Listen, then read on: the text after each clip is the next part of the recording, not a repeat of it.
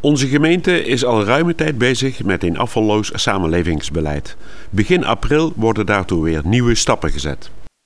Wat wij in april gaan doen is datgene waar we nu in proef bezig zijn in het Puiven. We gaan kijken of wij uh, wat zaken kunnen combineren in afvalstromen. En we gaan kijken of we kostentechnisch wat, uh, wat uh, goedkoper kunnen, ons afval kunnen afhalen. Het combineren bestaat uit het samenvoegen van PMD, ofwel plastic, metaal en drankkartons. Deze herbruikbare afvalstoffen worden dus vanaf 1 april samen in één afvalzak opgehaald. In het Puiven loopt momenteel een proef waarbij het PMD wordt opgehaald op clusterplaatsen. Dit bespaart ophaalkosten en werkt een stuk gemakkelijker voor de ophalers. Op de clusterplaatsen worden ook de grijze, groene en blauwe containers aangeboden.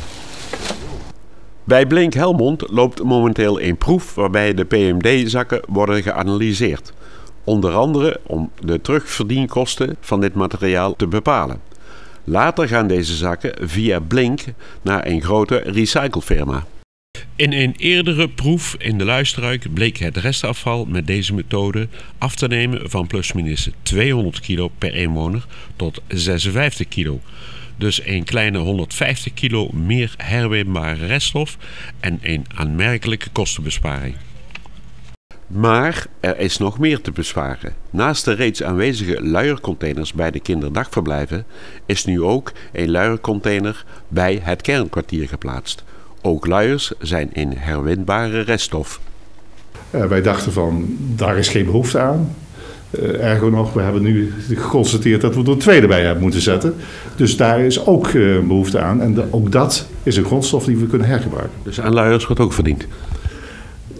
of dat echt aan verdiend wordt is een tweede. Maar we halen het wel weg uit het restafval. Ja, ja. En daar wordt voor betaald. Ja, de Milieustraat, daar wordt geloof ik ook het een en ander aangepast uh, dit ja, jaar. Uh, onze Milieustraat uh, functioneert redelijk, maar er zijn een aantal omstandigheden waarvan we zeggen, die zijn niet goed.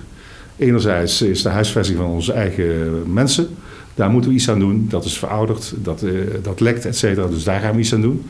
Daarnaast hebben wij ook het, met name het chemisch afval. Dat moet je op een speciale manier inzamelen. Uh, datgene wat er nu staat, voldoet daar niet aan. Dus we zullen dat aan de wettelijke eisen moeten aanpassen. Uh, laatste wat we willen gaan doen, dat wij gaan kijken uh, bij de Milieustraat of wij de gratis stromen, of die wat sneller de Milieustraat in en uit kunnen, kunnen gaan. En de rest gaan wij nu, daar zijn we al mee bezig, veiligheidsvoorziening, et cetera. Dan gaan we gewoon de hele Milieustraat aanpassen. Gebeurt dit in alle 21 gemeentes tegelijk of lopen wij een beetje voorop? Ik denk dat wij redelijk voorop lopen. We hebben, eh, en dat komt omdat wij uh, een aantal mensen uh, binnen onze organisatie die daar enthousiast voor zijn. En die kunnen dat enthousiasme overbrengen naar bewoners. En om bijvoorbeeld te geven van de clustering. we hebben dat in, Pijvende hebben we dat gedaan. Maar we hebben het in feite op dit moment bij een heel Nude-Zuid gedaan. En dat is de kwestie waar we nu mee bezig zijn. Kunnen we dat toepassen op, uh, op heel Nuenen? En dat proberen we dan samen te doen met bijvoorbeeld een wijkvereniging. En we proberen waar mogelijk te clusteren, maar het kan niet overal. Dus afvalloze samenleving, daar is een hele grote stap in gezet. Uh, wij willen uh, die stap gaan zetten. En ik denk als ik kijk naar zo'n proef wat we gedaan hebben... en ik ook het enthousiasme wat ik proef en hoor van uh, onze mensen... wat er in Puifijn gebeurt... dan denk ik dat we, een heel, dat we vooruitstrevend een hele stap hebben, hebben gezet.